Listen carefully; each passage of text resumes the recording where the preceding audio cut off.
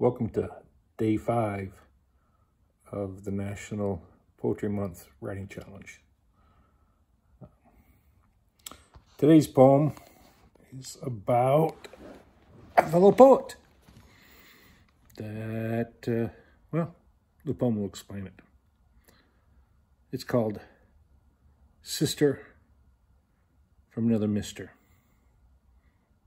Adrian's my sister from another mister. You can tell that just from the color of our skin. She calls me big brother. I'll call her little sis. We have adopted one another because you, you never run out of love to give. And there's always room in your heart to receive some more love. Also, you can never have too many siblings. As long as you promise not to exchange Christmas presents with everyone every year.